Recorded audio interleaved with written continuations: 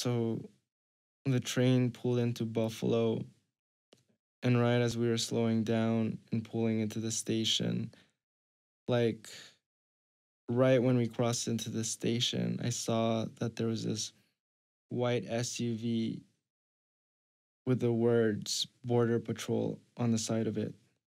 And then as it slowed down on the other end, I saw another one that said Border Patrol on the side of it and someone getting out of it. Was like a uniformed fucking Border Patrol agent.